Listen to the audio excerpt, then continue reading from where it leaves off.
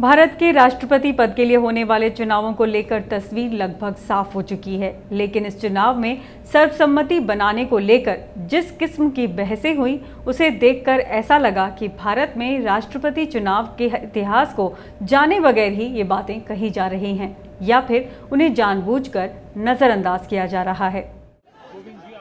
भारत के पंद्रहवें राष्ट्रपति चुनाव में बिहार के राज्यपाल रामनाथ कोविंद और लोकसभा की पूर्व अध्यक्ष मीरा कुमार आमने सामने हैं। आंकड़ों को देखते हुए ऐसी उम्मीद की जा रही है कि सरकार के उम्मीदवार कोविंद भारत के अगले राष्ट्रपति होंगे।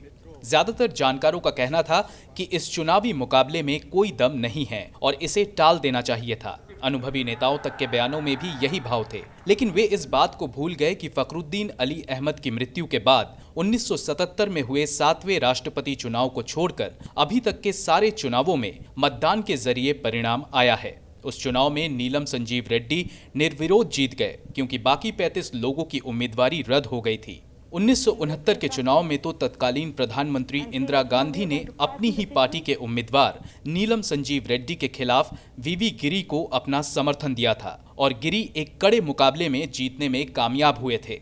यहाँ तक कि उन्नीस सौ सड़सठ में जाकिर हुसैन विपक्ष के उम्मीदवार कोटा सुब्बा राव से सिर्फ़ एक लाख से कुछ ज़्यादा मतों से जीत पाए थे।